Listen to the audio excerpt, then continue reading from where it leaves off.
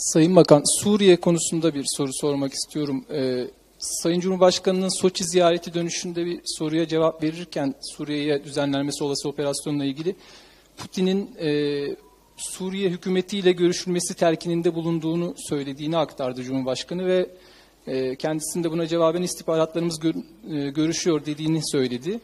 E, yakın zamanda Türkiye Gazetesi'nde de Cumhurbaşkanı Erdoğan'ın Suriye Devlet Başkanı Beşar Esad'la bir telefon görüşmesi yapabileceği iddia edildi.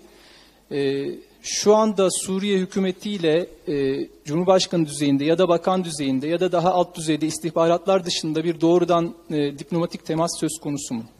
Gündemde mi? Şu anda böyle bir temas söz konusu değil. Cumhurbaşkanımız zaten e, o soruya cevap e, verdiler. Sonuçta uzun zamandır zaten e, Putin ve Rus yetkililer sizi rejimle görüştürelim.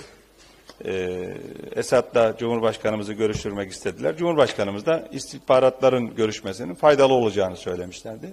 Bir ara istihbaratlar arasında görüşmeler olmuştu geçmişte de e, biliyorsunuz hatırlayacaksınız.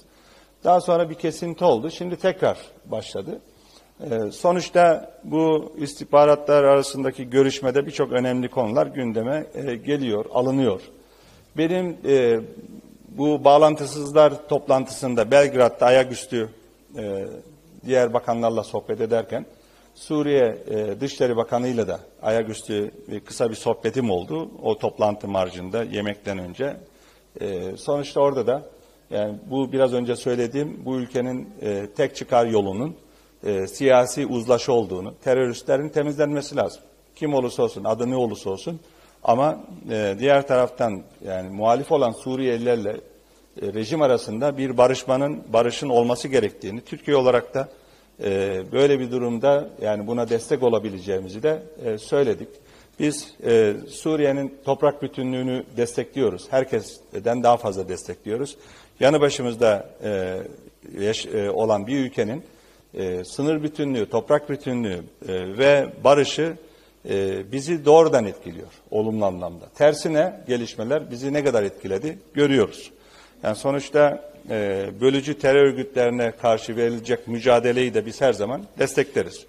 E, sonuçta e, bu, e, bizim e, Suriye'nin topraklarında e, gözümüz yok.